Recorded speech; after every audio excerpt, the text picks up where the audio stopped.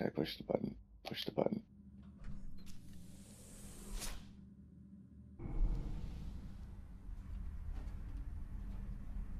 I can only imagine what you've heard, what you think of us. I'd like to show you that you may have the wrong impression. Welcome to the Institute. This is the reality of the Institute. This place, these people, the work we do. For over a hundred years, we've dedicated ourselves to humanity's survival. Decades of research, countless experiments and trials, a shared vision of how science can help shape the future. It has never been easy, and our actions are often misinterpreted by those above ground. Someday, perhaps, we can show them what we've accomplished. But for now, we must remain underground. There's too Hmm. much at stake here to risk it all. As you've seen, things above are unstable. I'd like to talk to you about what we can do for everyone. But that can wait. You are here for a specific, very personal reason. You are here for your son.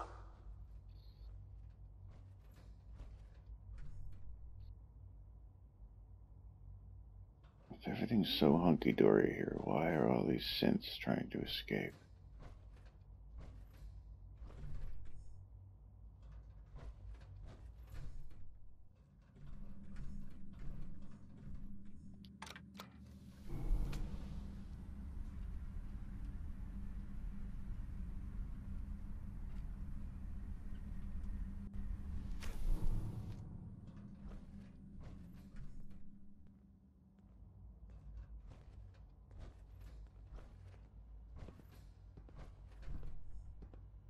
How very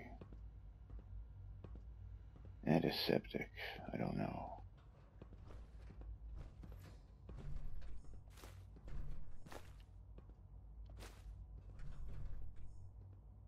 Interesting.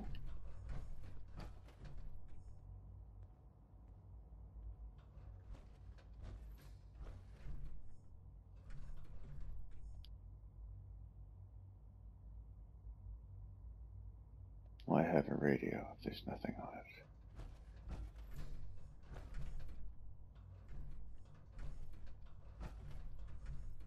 No use. Why bring me here if I can't get out? Only opens with a key. Don't have the key. Ah. Oh. Shaun, Huh? Yes, I'm Shaun. Shaun. I've been looking for you for so long. Who are you?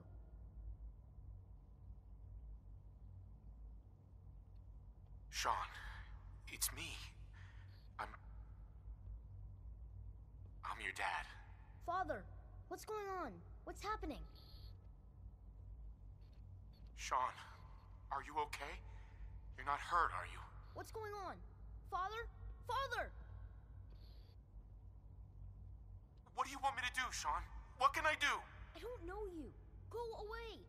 Father! Father, help me! There's someone here. Help me! Shaun, please, calm down. I'll get you out of there. Father? Father, help me! He's trying to take me! Father? Father, help me!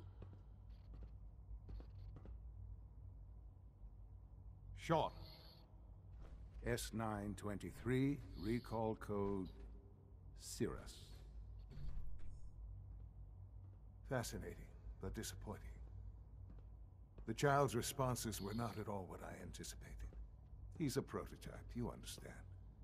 Mm, We're No. only just now beginning to explore the effects of extreme emotional stimuli. Please try and keep an open mind. I recognize that you are emotional, and that your journey here has been fraught with challenges. Let's start anew. I am Father. Welcome to the Institute.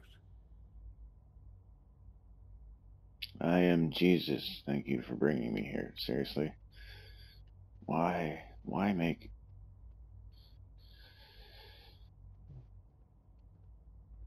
Alright, so the synths, the new ones, are molecularly almost identical to humans, so I'm going to assume that they grow and develop. Are you following? Father? That's your name? Your title? Father is my unofficial title. It's what I've come to mean to the people of the Institute, just as... as you mean to your son, to Shaun.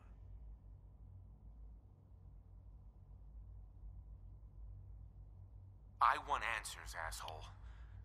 Now. Under the circumstances, I will forgive your vulgarity, but I need you to realize that this situation is far more complicated than you could have imagined. You have traveled very far, and suffered a great deal to find your son. Well, your tenacity and dedication have been rewarded. It's good to finally meet you, after all this time. It's me. I am Shaun. I am your son. How is that even possible? I know this is a lot to take in. In the vault, you had no concept of the passage of time. You were released from your pod and went searching for the son you'd lost. But then you learned that your son was no longer an infant, but a ten-year-old boy. You believed that ten years had passed. Is it really so hard to accept that it was not ten, but sixty years? That is the reality, and here I am. Raised by the Institute, and now its leader.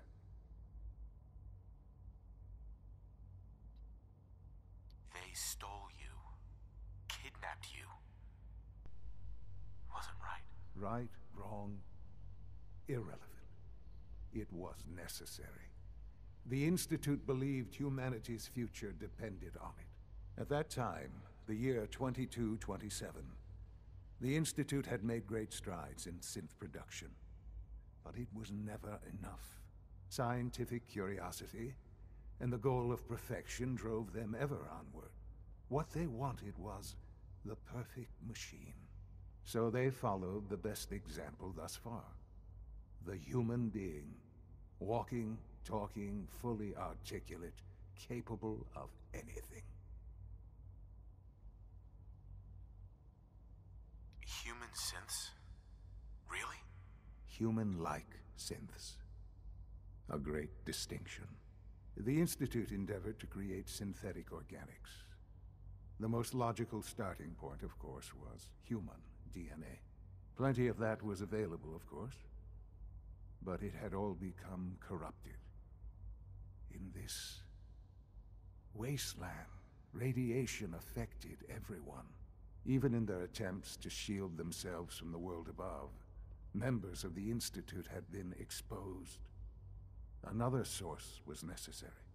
But then the Institute found me after discovering records from Vault 111.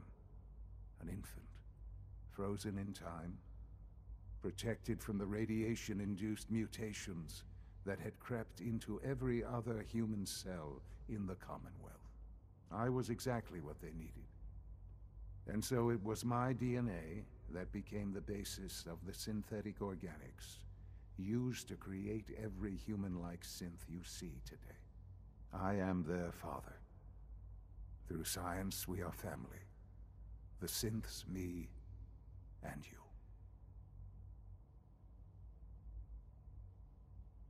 And you. You've been down here the whole time? I have. Yes. I know you must have questions. Please. Anything I can do to help you understand.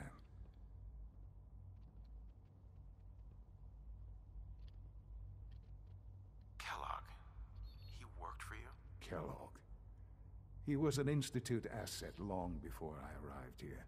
It wasn't until I became director that I learned of all the things he'd done. What kind of man he was.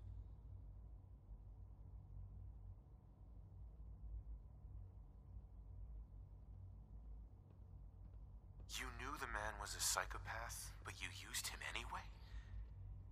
I don't expect you to understand or agree with the decision. The Institute took advantage. Institute technology prolonged his life, and his usefulness far. But his cruelty became more apparent with every completed objective. I won't lie. It's no coincidence your path crossed his. It seemed a fitting way to allow you, us, to have some amount of revenge. What else can I say to ease your mind? Your mother. She never got to see you grow up. Yes. What happened to her was... I've gone over the records of the incident, of course. It seems her death was an unfortunate bit of collateral damage. Collateral damage? Is that all she was to you? I forget that it's been such a short time for you. I don't have any direct memories. And I've had my entire life to cope with a loss. Has it always been easy? Of course not. But I've done my best to move on and live my life. For many years, I never questioned who my parents were. I accepted my situation, and that was that. With old age comes regret. And asking what if more often. But what matters now is that you and I have a chance to begin again. What else can I say to ease your mind? So you're in charge of the Institute? I am the acting director, yes. I spent decades working to reach this point. It's a responsibility I take very seriously. The Institute. It's important. It really is humanity's best hope for the future, no matter what those above ground might think of us. They're scared of you, Shaun. Scared of the Institute. People are always frightened by what they don't understand. Ultimately, the Commonwealth has nothing to fear from us. Whatever you've seen or heard, I know I can convince you of that. Just give me time. I know there's more for us to discuss. But the Institute is on the verge of some important breakthroughs. Your presence would be appreciated as we approach them. I've been a part of something amazing here. I've helped to build a life for myself and the people of the Institute. And now, after all these years, you have an opportunity to help with that. Doesn't that intrigue you? Isn't that what you want?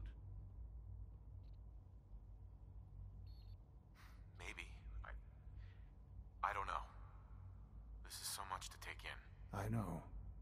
And I am sorry. You have been through so much in such a short time. The Institute can provide a better life than anything above ground. You've been in the Commonwealth. You've seen what it's like. I assure you that you are better off with us.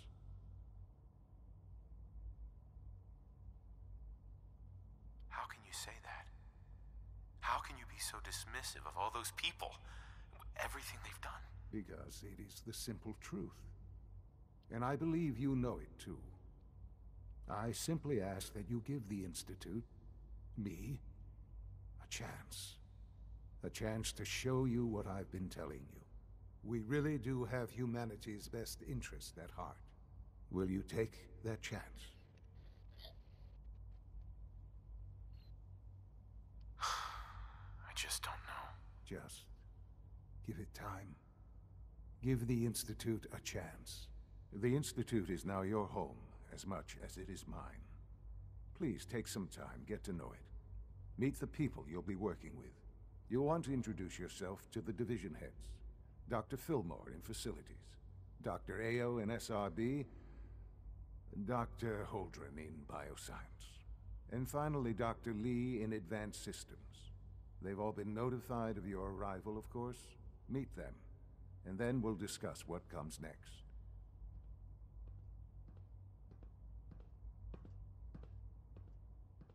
Okay. Excuse me.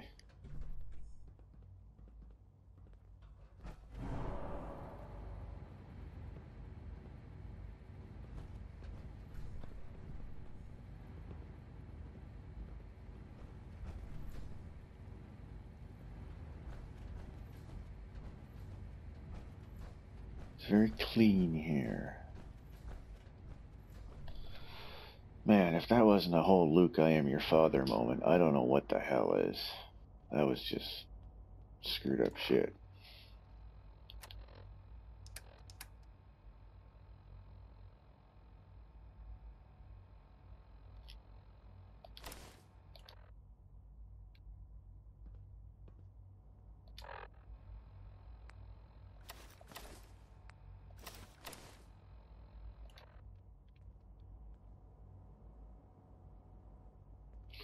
Ah, really sad.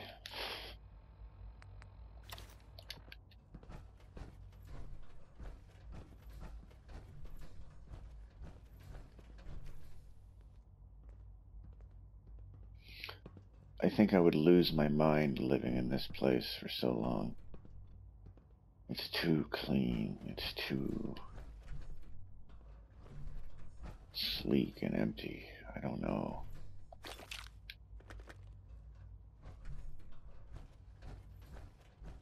Too sterile.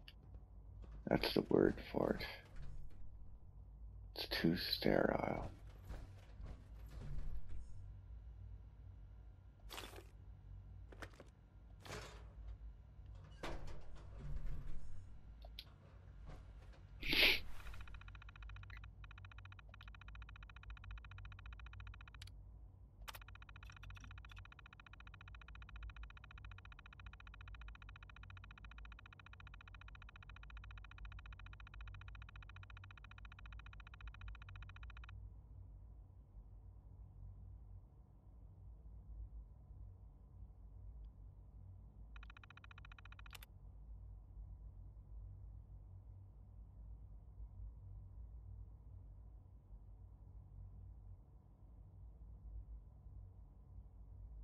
Hmm.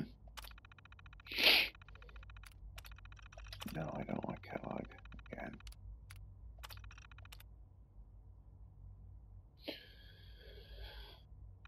Child Sense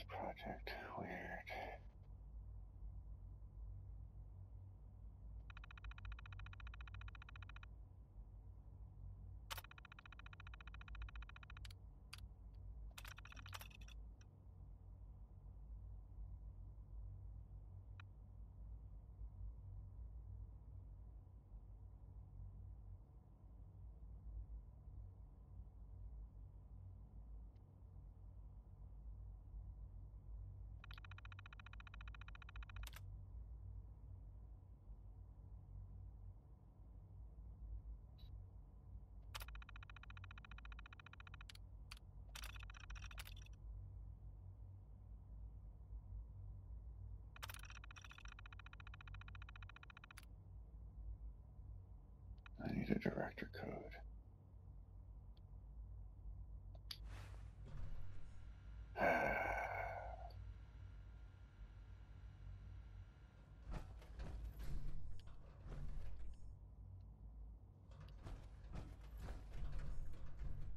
Well, those are desks, so. I mean, he wouldn't just leave it lying around, would he? Just in a desk somewhere? Nah, no way in hell. There's a lot of desks around here, though.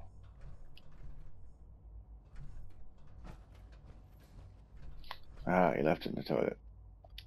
Really? no. No, not really. Bobby pins, that's a good thing. Broken light bulb. Why that's in a drawer in the bathroom, I don't know.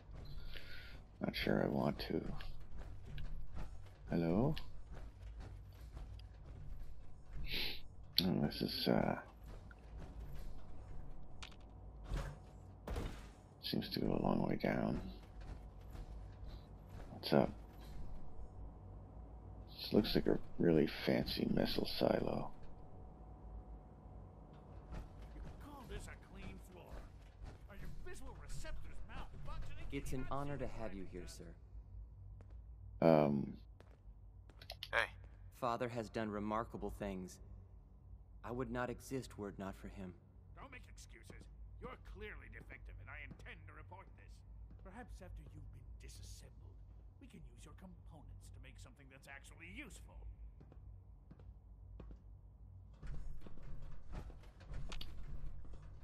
excuse me. Welcome to the Institute, sir. Scanning. Subject identified. Greetings, sir. The rest see me as little more than a glorified repairman. But I'm as much a scientist as any of them. Hey, Doc. You know what happens when people get robots to do all their work? They get fat and lazy, that's what.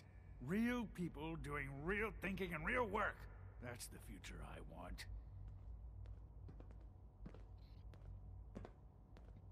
If that's how you feel, why not leave? Because we could do so much more. But no, everyone is obsessed with these damn synths. It's wasted potential. That's what it is. In any case, I suppose I should say, welcome. Perhaps a fresh perspective will do some good around here. hmm All is not well in paradise. This is a pretty snazzy helmet you got there. Uh, Nothing to report, sir. uh, can I have your helmet? Sorry, I didn't mean to scare you. I just want to give it to my, my, my wife, that's all. My new wife. Since you fuckers killed my old wife, I gotta remember that shit. Not get too cozy.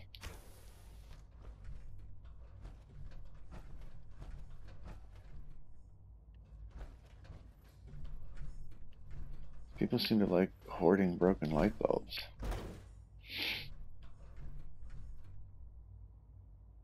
Look, Director, I'm gonna make the same recommendation I did last time. We did everything we could. Four years dedicated to preserving this Commonwealth Provisional Government. You've seen the same reports I have. It's falling apart and fast. We need a plan for what happens when that fall is complete. I know some of the other divisions have suggested we just cut off all contact, hide underground, and pretend nobody's home. That would, in my opinion, a mistake. We can't just give up on these people, and with the Android program, we don't have to. We'll soon have the capabilities to deploy androids to the surface in great enough numbers to maintain order. Just just think about it, all right? Keep it in mind moving forward.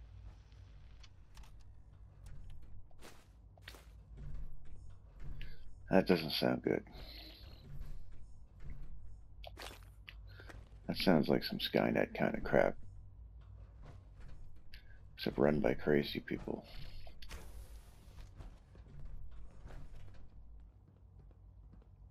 This place is huge.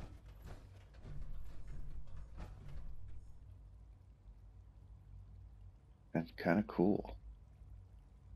Maybe it's not so boring, but I don't know. I need to do more investigating. I think sign up for this episode and do more investigating later. I'll start from right here.